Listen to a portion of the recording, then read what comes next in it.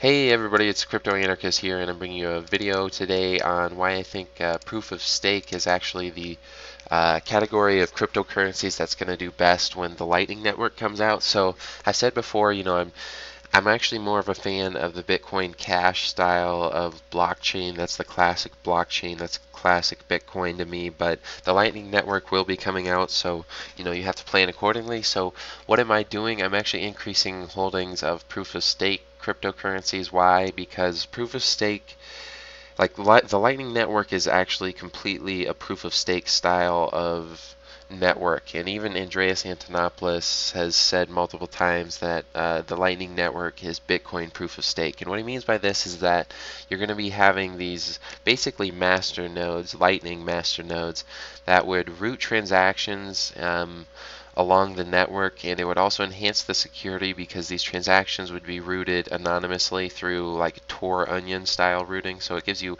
IP address obfuscation um, and that enhances your privacy and security. Um, but it also like the lightning network basically becomes a part of block validation and transaction validation because you are validating transactions that occur off the blockchain and multiple ones that uh, like multiple ones um, not on a one-to-one ratio with the transactions you record on the blockchain. So what I mean by this is with the Lightning Network, you can have 100 different transaction relationships with 100 different people uh, throughout the Lightning Network, and that could be um, all changed with just one transaction. Like one transaction could represent um, all those transactions between those 100 people. Um, so th the issue that you have there is that that becomes a, a a foundational part of the cryptocurrency and it becomes a method of basically transaction validation and transaction routing. So that's only an issue if, uh, you know, like for proof of work cryptocurrencies, like that's why I don't like proof of work cryptocurrencies with the Lightning Network is because when you change, like when you start paying somebody else a fee to validate transactions, but you keep all of the power in the hands of the miners, because like with Bitcoin and SegWit, um, it's a proof of work cryptocurrency, so if you perform a 51% attack on it, like you cripple the network, and with the Bitcoin Lightning Network, that's a proof of stake style reward system, so you're taking power out of the hands of the miners, but you still leave that, you know, the crippling 51% attack that's completely the same. Like your chances of, of, of uh, successfully doing a 51% attack against Bitcoin SegWit after it activates the Lightning Network, like it's way better. Um, so this is actually very good for, like, the Lightning Network is good for proof of stake style cryptocurrencies, just not proof of work style cryptocurrencies. And the way you want to think about this is uh, kind of like proof of work. It's kind of like an aggressive investment in a cryptocurrency. Um, they can be very secure or very insecure uh, very quickly. Um, proof of stake, on the other hand, they're like bonds. I can't really call proof of work like um, stocks um, because they're not stocks. They're investments in currencies. But proof of work might, I don't know. You can you can make more money in proof of work, but you can lose more money in proof of work. In proof of stake, it's generally slower. And the reason why proof of stake is slower is because the uh, method of security of proof of stake is actually a slower method of security. Uh, it's actually more secure long term but less secure short term. And the reason why proof of stake is less secure short term is that with proof of stake, they, like you're not losing a lot of money. Like miners on proof of work, they lose a lot of money in, uh, in terms of electricity and hardware costs if they're mining the wrong uh, blockchain or the wrong block. But proof of stake, you don't actually lose anything. You lose out on potential profit, but you don't actually have any fixed costs. So um, with proof of work, because there's such high costs involved with the mining, everything has to be working all the time smoothly, perfect, perfectly. Otherwise, there's huge misinvest or malinvestments in the cryptocurrency. So proof of work forces a short-term, sort of smooth, um, smooth running and of operations, I guess you could say. So proof of work because you lose a lot of money if you like if anything goes wrong, even in the short term, it almost ensures that nothing goes wrong in the short term. But proof of stake, on the other hand, uh, things can go wrong. Like you, there's more soft and hard forks on proof of stake, just because like. Um, if one block does orphan, which can happen just randomly, um, you don't lose as much money as a staker. So again, yeah, that's just why like it's a less aggressive form of cryptocurrency, but it has more long-term security. So proof of stake you should see almost as like I don't know, just it's just a less aggressive form of cryptocurrency. It's just the way to talk about it. But again, the reason why proof of stake is going to go or do very well with the Lightning Network is because the Lightning Network it, it's an it's an additional layer and it offers privacy features. So again, this is going to be best for privacy focused proof of stake coins, uh, which is basically like Pivx and exclusive. And then uh, I I don't know too much about exclusive. The one thing about exclusive I will say is I think it's a relaunch, but uh, the other like hybrid privacy cryptocurrencies are like Dash and Zero Coin uh, or Zcoin, you know. Um, but the one thing about the Lightning Network you have to remember is that it offers IP obfuscation, and so this is why it's going to be really big for privacy focused proof of stake cryptocurrencies because you're going to route transactions through the Lightning Network off the blockchain so it becomes just as important as the blockchain. So you're going to need some sort of block reward to go towards your Lightning nodes because it is technically speaking routing transactions. So it like it has to be uh, rewarded in the same way that the miners are rewarded. Um, but it's going to be best again for these proof of stake privacy coins because it offers a lot of privacy. And the, the reason why I think there should be a block reward that goes to the Lightning Network is because I think it should act as collateral. Um, it should act as collateral for all the transactions that occur off the blockchain.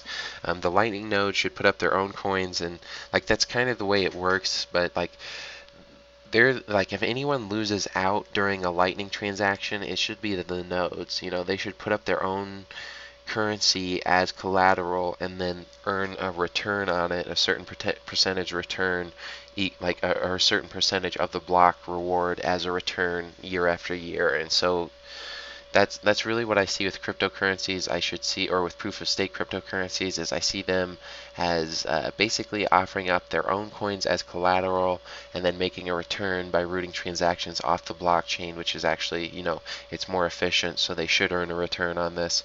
Uh, but that's how I think proof of stake should work. And then it offers a service.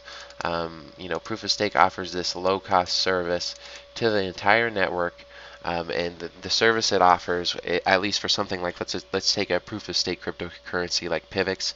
Pivx right now, it does the same thing Zcoin does, and it uses the uh, master nodes in order to validate the um, the proof of their zero coin minting. The zero coin minting, that's a lot of blockchain bloat, and so they create basically a separate blockchain kind of, and they have the history on there and the proof of stake stakers. They they will validate the transactions that the zero coin minting was done legitimately, and that's the way that Pivx works. That's way zero coin's hybrid proof of stake um, reward works. Um, and that's very good. That's great. The one thing that uh, the Lightning Network can offer to uh, these proof of stake mechanisms as well is that the Lightning Network can offer IP address obfuscation because you route your transaction through multiple different Lightning nodes, and you know nobody really knows exactly how that happens. And then uh, so that makes it more privacy centric, like that makes it more private, uh, more anonymous, and so that makes the coin better. And then the other thing is that it also means that the staker is actually offering even more of a reward to the network. So a coin that's fully proof of stake like Pivx, it needs to offer as much of a reward to the network as possible through its node. So that's really good.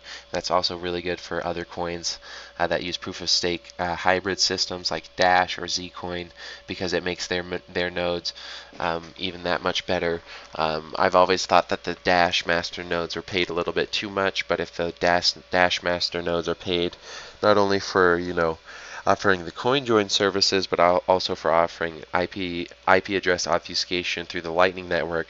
I think that just makes that cryptocurrency that much more valuable. So I really think that proof of stake style cryptocurrencies are the big winners with the uh, Lightning Network.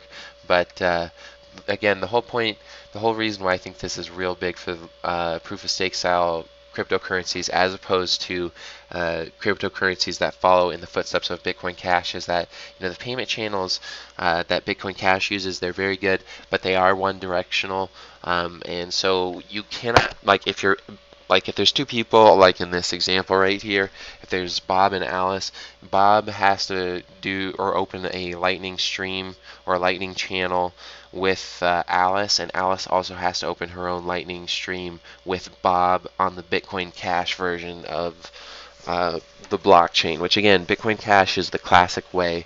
And it, for you know, for a proof of work cryptocurrency, you want to pay your miners for every transaction that occurs. So you know that makes sense. So Bitcoin SegWit is making itself basically a hybrid, and that's why I don't like the block reward for the nodes. And so it's going to have poor security. But again, uh, you know, with with the Bitcoin SegWit version, and that's basically every other cryptocurrency. That's Pivx, that's Zcoin, you know, that's Dash. All these are SegWit activated. That's Litecoin, that's Vertcoin, um, but they're all SegWit activated.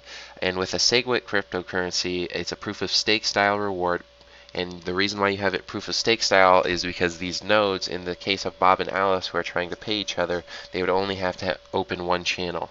Um, and they don't even have to necessarily open a channel. Like let's say Bob has a channel open with, you know, let's just call it Wells Fargo, and then Alice has a payment channel open with Wells Fargo as well, then Bob and Alice can pay each other through their Wells Fargo channel. So they don't even, you know, you're routing a lot of transactions off the blockchain.